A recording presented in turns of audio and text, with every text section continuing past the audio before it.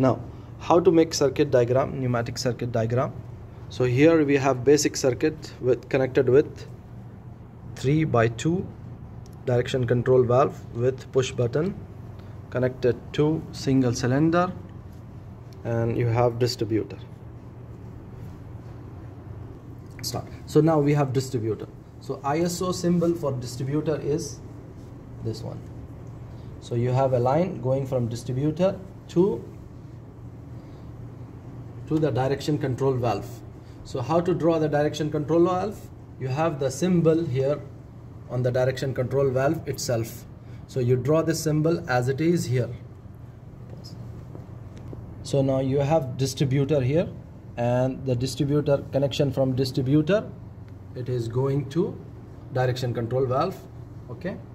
Direction control valve to 1 so you need to change it. It's going it's wrong so you have to make it distributor direction control valve. 1 is always connected to distributor. So it will go to 1 and 2 will go to the output.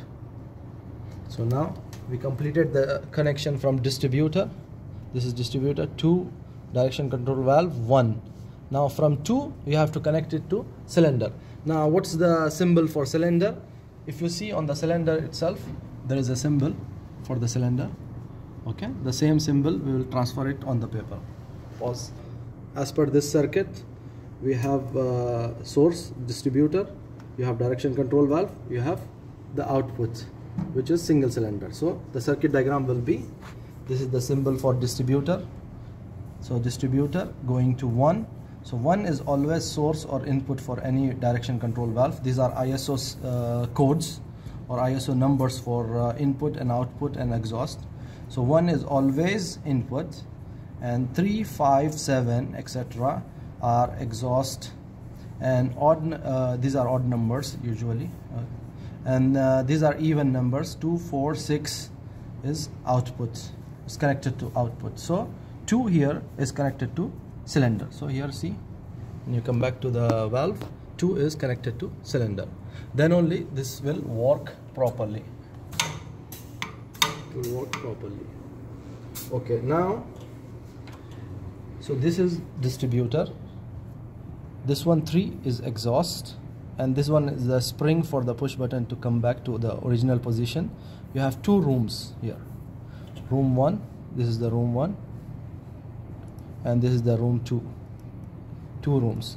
So when the valve is actuated which is uh, is working in working condition 1 is connected to 2 then the air will supply from 1 to 2 and it will work.